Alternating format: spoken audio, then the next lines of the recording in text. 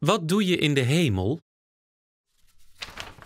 Christenen geloven dat het eeuwige leven niet pas na de dood begint, maar al hier op aarde.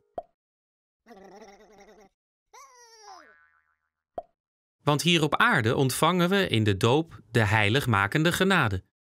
En door de heiligmakende genade hebben we nu al deel aan het leven van God. Het leven na de dood is dus niet een nieuw begin, maar een voltooiing.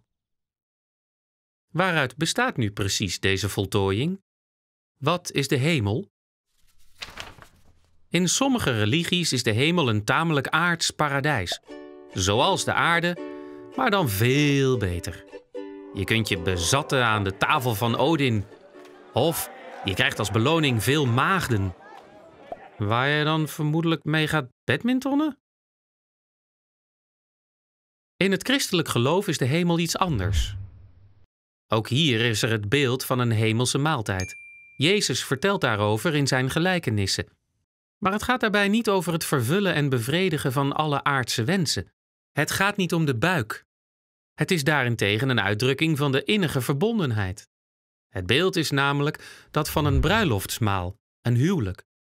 De menselijke ziel ontmoet in de hemel haar geliefde, haar hemelse bruidegom. Het christelijke beeld van de hemelse maaltijd is dus in werkelijkheid een beeld van innige verbondenheid. Het gaat in de hemel om de volmaakte verbondenheid met God, die hier op aarde moet beginnen en dan in het hiernamaals haar voltooiing vindt. Dat is de christelijke boodschap over de hemel. Deze verbondenheid is mogelijk omdat wij God zullen zien zoals Hij is. Dat noemen we God schouwen. Dat is iets contemplatiefs, iets intellectueels, een geestelijke daad. We zullen God kennen en wij zullen al het andere in God kennen. En met de volkomen kennis komt ook de volmaaktheid van de liefde. Hmm, God schouwen. Klinkt mooi, maar ook nogal abstract. Goed, laten we een voorbeeld bekijken. Als je al een tijdje bezig bent met een wiskundig probleem en je begrijpt het gewoon niet, dan heb je ongeveer deze gezichtsuitdrukking. Let op wat er nu gebeurt. Juist, nu heb ik de oplossing gevonden. Ik begrijp nu hoe het werkt. Er is mij een licht opgegaan. Ik snap het. Inzicht. Dat is een moment van geluk en vreugde. En zo is het ook met het geluk van de hemel.